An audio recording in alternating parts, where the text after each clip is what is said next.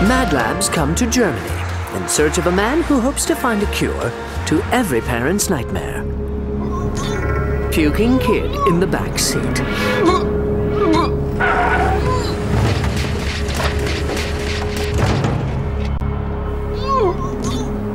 Luckily for his sister, this little kid made it to a convenient tree.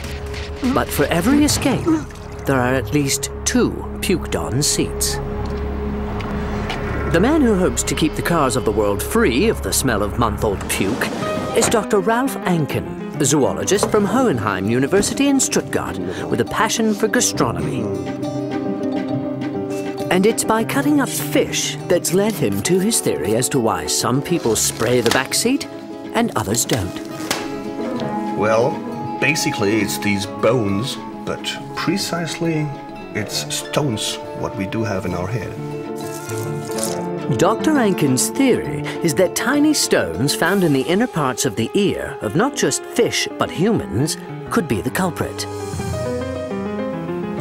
When he's not embarrassing diners in posh restaurants, Dr. Anken and his colleagues can be found doing much the same thing in his labs, uncovering the mysteries of motion sickness by dissecting cichlid fish. Well, actually, what Miriam is doing is uh, she's dissecting very tiny stones from calcium carbonate from the ear of a little fish. The team knows that the tiny stones are attached to little hairs connected to sensory cells within the inner ear. Ich versuche eigentlich immer so die Mitte zu kriegen. When the fish moves, gravity acting on the stones helps the fish sense up and down, even in the dark. Going to remove the brain because the organ of balance is located at both sides. And I wonder if this could be already one of these stones. Is it? You have Yes. been. Okay, there was it. This was one of our stones. Great. The cichlid fish have three of these stones attached to hairs in their inner ears, which help maintain their balance.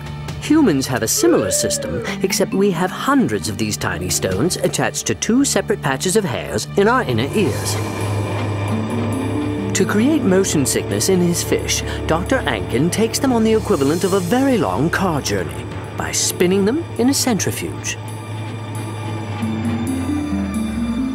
When they stop spinning, some fish seem to settle quickly, while others keep on spinning, the fish equivalent of motion sickness.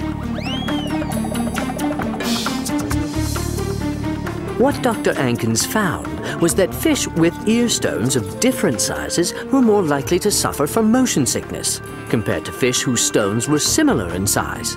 And he believes it's the same for humans.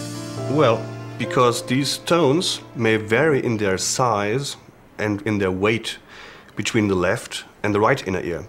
So there are also the signals to the brain different between left and right. And in particular situations, like in a car or in a ship, this simply makes a problem and you get motion sick.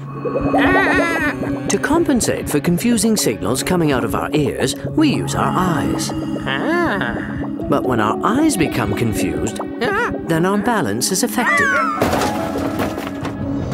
But if our visual system is upset too, say by the rapidly moving horizon during a car journey, our brain can no longer cope. The result? Well, we all know what happens.